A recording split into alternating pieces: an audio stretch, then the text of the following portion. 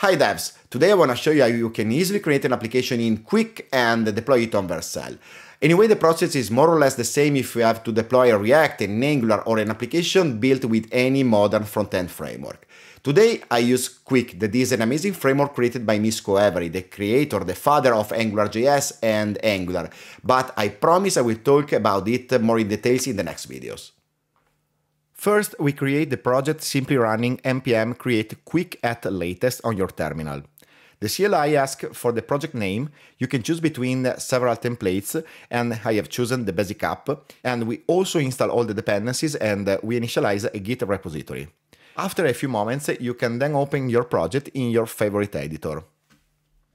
Index.tsx is the default root of your application, and you can see it just running npm run dev on your terminal that starts a web server with your application. Now we can remove all the template stuff from index.tsx file and I just write a new title, Hello Qwik. Now I modify the page title, but here we can also update some metadata, for example. Now we are ready to deploy our amazing application, but where? We can choose our favorite platform, Google Cloud, AWS, Azure, and so on, but I often show how to deploy an application on Vercel because it's fast and very easy to use. After choosing the cloud platform, we should install the right Qwik adapter, and you can find all of them in the official documentation. So I go to the Vercel page and I copy the command. So we can come back to the application and run the command that requires few seconds to configure everything.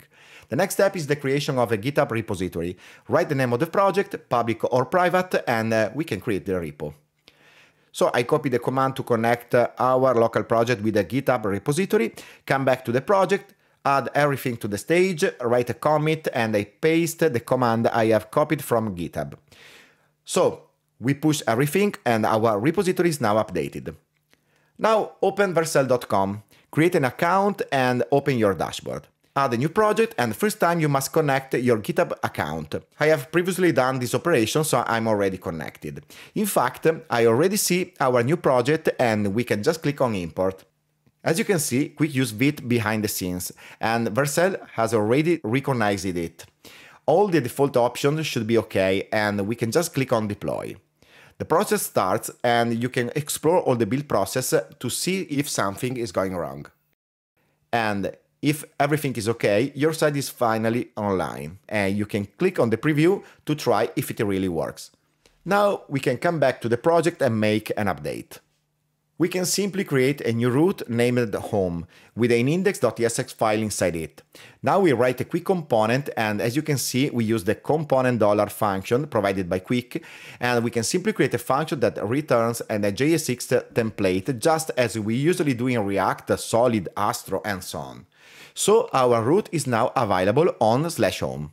Now we are ready to push everything on GitHub and when we come back to the Vercel dashboard, we can see the build in progress. We can also click on the latest commit to see how the build is going on and after a few moments our updates will be online and the new page will be available for everybody.